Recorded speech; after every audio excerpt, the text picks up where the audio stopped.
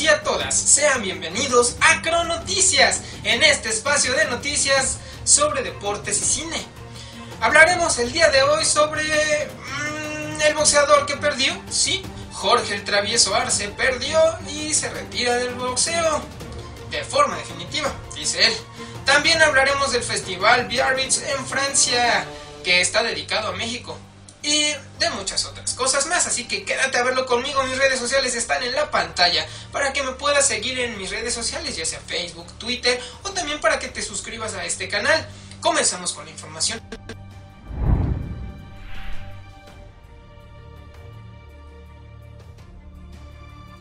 En los deportes comenzamos con las Chivas de Guadalajara que primero presentaron a Néstor de la Torre a la salida de Francisco Palencia para ocupar el puesto de presidente deportivo. Pero Néstor, a su regreso, también trae a su hermano José Manuel El Chepo de la Torre, que recordemos que en su último puesto como director técnico fue con la selección mexicana, esto previo al Mundial. Con él esperan sacar el equipo del descenso, es decir, a las Chivas. Coméntame, ¿tú crees que se salvará? El contrato se firmó frente a la prensa por tres años y lo acompañará como auxiliar Héctor, el güero real. Ya veremos qué sucede. Vamos con el cine y es que ya se acerca el estreno de Annabelle, la muñeca que pretende poner los pelos de punta, así como los míos, a varias personas, pero les comentaba que era pues muy similar a Chucky, un muñeco que pues causaba problemas y mataba gente y hacía un relajo. Justamente el creador de este muñeco pretendería juntar una cinta en la que saliera Annabelle y Chucky. ¿Ustedes qué piensan sobre esa idea? ¿Les gustaría o no les gustaría? Déjenme en la parte de abajo sus comentarios. Ah, otra cosa más, ya se estrenó la película Drácula y ya la vi. La verdad es que se los dejo a su imaginación. No es cierto. La verdad es que no está tan mal. La trama no es precisamente lo que yo esperaba. No es tanto terror, pero trae algunas escenas muy buenas de acción. La historia no está mal llevada. En fin, es un poco diferente a lo que yo esperaba, pero no está mal. Ya sería cosa de ustedes. Yo le pondría pues, una calificación de 7. En el fútbol internacional, Radamel, el Tigre Falcao, anotó su primer gol con el Manchester United y en buen momento para llevarse la victoria 2 a 1 sobre el Everton, había empatado. Mientras tanto, Cristiano sigue anotando más y más goles, igualando en el momento en hard tricks a jugadores de la talla como Di Stefano. Seguramente lo superará y hablaremos más de sus logros en el año, seguramente. Y para los fans del manga, una noticia que causa revuelo es el final de Naruto. Tras sus 15 añitos de éxito, con más de 130 millones de copias vendidas en Japón y más de 200 millones en el extranjero, el ninja desde 1997 dio de qué hablar y superó en números a varios competidores grandes.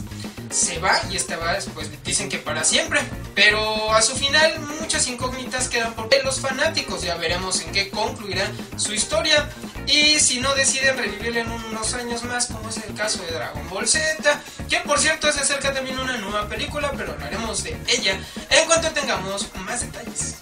Por su parte, en el fútbol nacional, el Club América fue vapuleado por la máquina del Cruz Azul por marcador de 4 a 0, pero ya piensan en el siguiente encuentro, y sería contra Santos.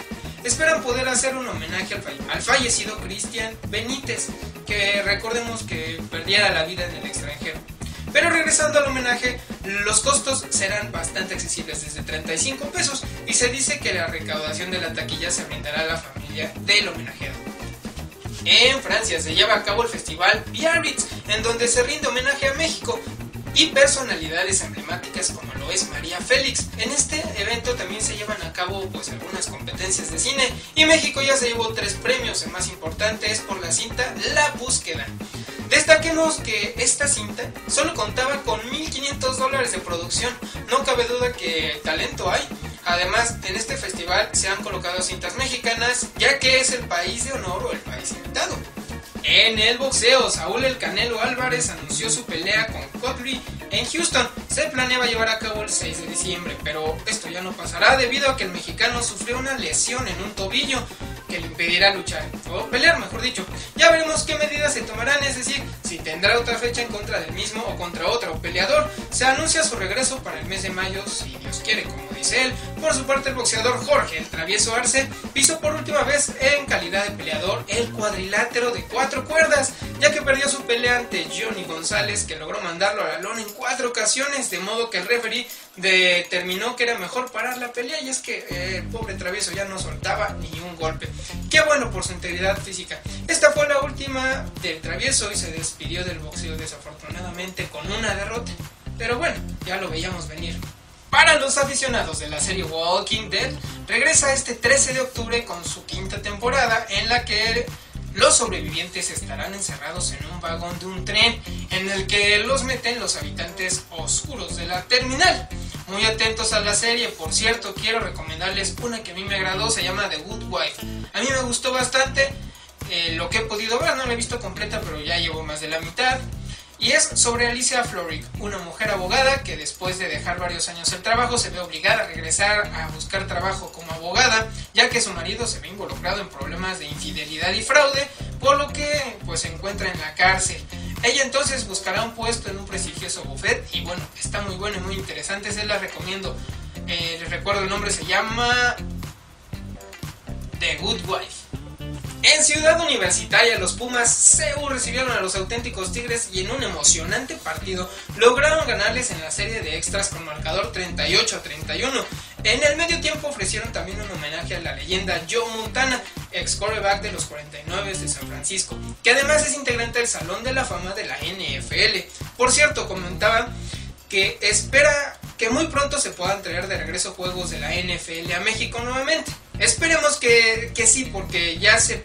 La verdad es que se pone muy, muy emocionante y también ellos ganan muy buen dinero trayendo a, este país ese tipo de, de eventos. Mientras tanto, regresando a la Liga Nacional, mientras tanto las Águilas Blancas consiguen su primera victoria tras vencer 20 a 0 a los centinelas del cuerpo de guardias presidenciales. Los burros blancos ganan a los frailes de Tepic por marcador 10 a 16. Pumas, Pumas Acatlán pasa por encima de los zorros ITQ por marcador de 0 a 42, con lo que se llevan el marcador más abultado de la semana 5. Hemos llegado al final de esta sección recordándote que este día salieron otras más como nacionales e internacionales, espectáculos y tecnología. Para que las veas también te las voy a dejar en la parte de abajo. Mi nombre es Saulo Crono y esto fue Crono Noticias. Espero que nos des un like, que compartas este video para que también tus amigos compañeros estén bien informados. Nos vemos la siguiente semana. Mis redes sociales te debieron aparecer en la pantalla para que me puedas seguir en Twitter y en Facebook también este, para que te suscribas y nos vemos en el siguiente video. Hasta luego. Esperen una cosa más. Los dejo con un video cortito, chiquitito, del oso cocolizo que regresa a mi canal principal. Así que nos vemos muy pronto. Hasta luego y los dejo con el oso cocolizo.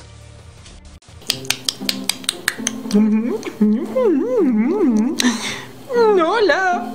Hola todos a todas, espero que se encuentren muy bien. Soy el oso cocolizo. Ya, lo siento. Bueno. Pues bueno, quiero platicarles una cosa muy importante y es que yo, el oso cocolizo, muy pronto estaré de regreso a Nube Black Saúl, gracias a Papá Saúl.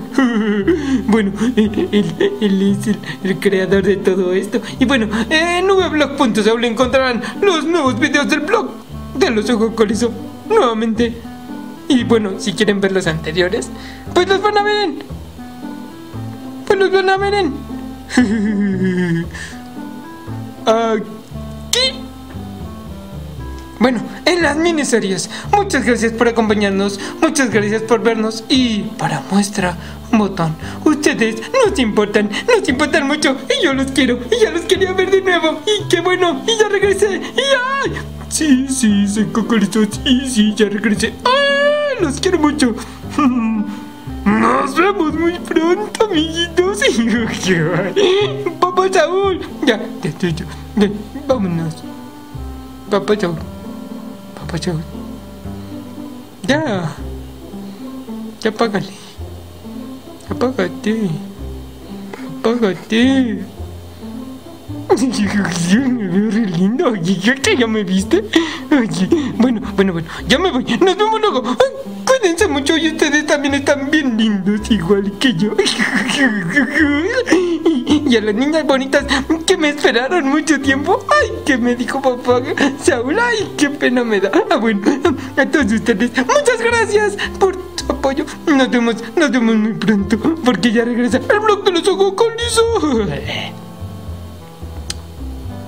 Hasta luego. Corte.